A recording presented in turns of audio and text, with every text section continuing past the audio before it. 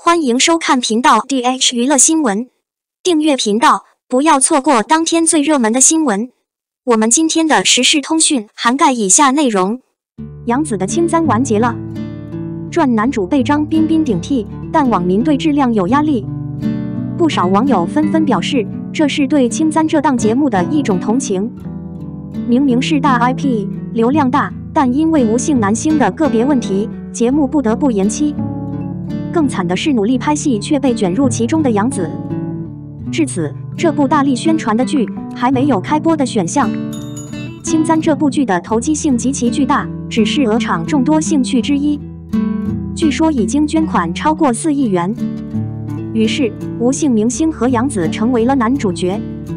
更何况，妓女这样的设计同样被视为天虎，结果却是一张烂牌。据说团队也曾考虑过利用 AI 换脸来拯救他，但对于《三千压杀》这档节目，他们终于放弃了这个想法。关于青簪重拍男星的角逐，此前有报道称，他们正在寻找的陈飞宇是一位颜值与无姓男子相提并论的奇葩首领的孩子。话虽如此，陈飞宇方得知此事后，连忙驳斥了媒体的八卦，让节奏停了下来。无论如何。对于接替吴姓男星重拍青簪的男星，大家还是格外好奇。还有一些传言说林更新将参会整部电影，让无数网友期待。林更新在范范方面也很棒，对于陈旧的合奏也完全合适。刚开始他和赵丽颖合作的《楚乔传》就成了年度热播。万一杨紫是他的帮凶，这两位知名艺人的合作应该会让人期待。只是随着时间的推移，似乎林更新自己也没有听说过进入青簪这群人的领悟，让无数观者心灰意冷。不管怎样，更让人高兴的是，林更新又帮了赵丽颖。两人没拍《楚乔传二》，却又开了一部戏凤星，让《楚乔传》的追随者欣喜若狂。破完之后，他喊道：“宇文玥终于不用再费心去吸水了。”话虽如此。最近网上又传来了关于《青簪之旅》艺人重拍的新消息，有网友爆料，杨紫已经完成了《钦差之星》的复拍，控制了吴姓。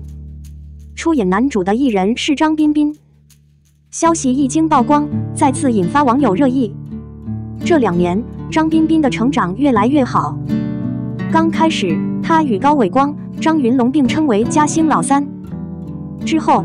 张彬彬靠着一个司藤帮助景甜，职业越来越稳定。尽管如此，他今年和嘉兴的协议并没有充值。张彬彬的时间表足够，而且他的穿搭风格也格外吸引人。如果消息是有效的，人群应该会非常活跃。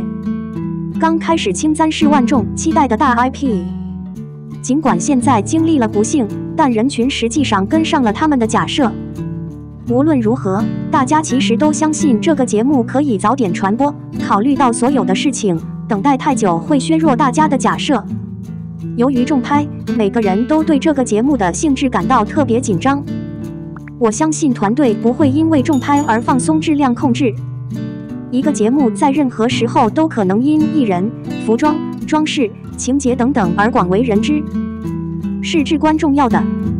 显然。网络传闻重访网传的点点滴滴，是否会由张彬彬饰演，要等到传播开来后才能知晓。不过，我倒是相信这次张彬彬的补拍可以给人另类的感觉。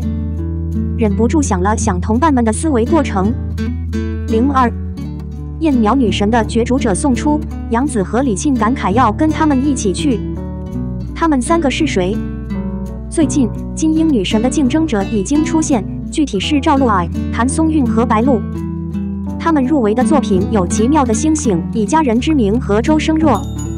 他们的三部入围作品非常有名。在《以家人之名》播出的那一刻，无数人毫无疑问地喜欢上了他。该节目同样成为今年最着名的戏剧之一。《璀璨之星》最近刚完结，显然是关于他的名气。三人之中，就只有白鹿的演技评分就差了几分。事实上，金鹰女神的决赛入围者确实不少，比如杨颖、古力娜扎、杨紫、李沁等人。更何况，这对夫妇的声音比上面三人还要高。二零一八年，杨紫距离金鹰女神只有一步之遥，电视剧的演技同样出色，今年的声音格外清晰，可惜又一次陪他跑了。前段时间，李沁转身去争取金鹰女神的装扮，就成了传闻。尤其是在当时，很多人都认为这十二个月的女神变成了李沁，也有不少网友对她非常认同。不过从现代的角度来看，她成为金鹰女神的几率很小。很多网友都对杨紫心生怜惜，因为杨紫最近几年的电视剧都很好，有很多热播剧，比如《亲爱的香蜜余生，请多指教》《沉香如屑》等，合作的都是知名男星肖战、李现、成毅等人，真是可惜了。这次金鹰女神的三名申请者中，谭松韵和赵露思的概率相当高。两人在电视剧中都颇有造诣，尤其是赵露思的《璀璨之星》，因播出而获得好评，名副其实的热播剧。而且他们两个都没有黑料，所以这十二个月的金鹰女神应该也在其中。和他们两个比起来，白鹿在电视剧中的整体表现是相当差的，所以这一十二个月可能不会有什么意外。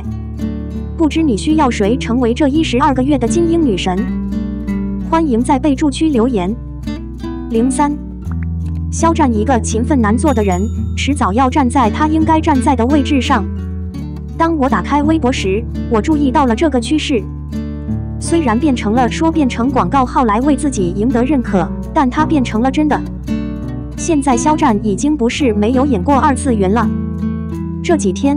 一些人莫名其妙的调侃余生是个二次元，且不说第二部超级巨星剧的真实整体表现，更可以说是他在成名之前的轻松生活变成了他获得的有用资源。成名前，他演过两次以上，还演过不少戏法，还演过大制作的二十二集，没有目的在彼岸嘲笑他。另外，余生在《陈情令》转播之前以及《陈情令》转播之后才转接。如果开播后就被捡起来了，粉丝功能就不好说了。